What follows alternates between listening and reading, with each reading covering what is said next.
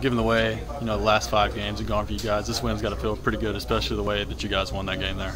Obviously, yeah, like we just gotta lock it down, and we don't, and still can get a win.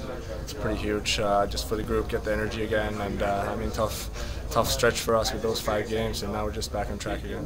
What was the feeling like on the bench when LA tied that game so quick after Fisher had that first goal? I, I don't know, we're just thinking like, oh boy, not again, and uh, but uh, positive response, uh, getting that big goal, is, uh, it was huge for us. And Fish uh, made a hell of a play there. I think this is a, character win for you guys, just proving that you can come back even when it seems like the odds are against you right there in the end there. Oh, for sure, for sure. Uh, as I said, big for the group.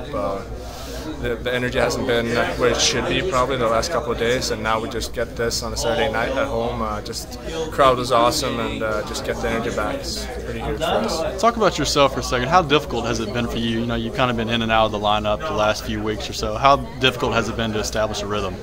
Um, it's uh, it's a what did I say? It's not. It's a special situation. I'm not used to it. Uh, but I'm just happy to be here. Uh, I mean, this is the highest level you can be at. I just want to be here, uh, trying to trying to do my best every time I get a chance. Uh, obviously, chances coming a little bit so and so lately, but uh, I'm just trying to stay positive and, and uh, trying to build off the, the positives that when I play.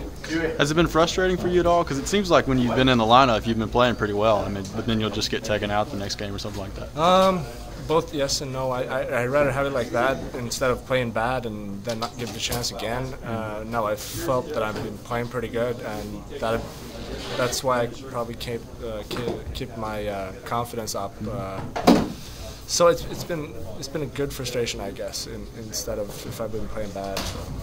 Thanks.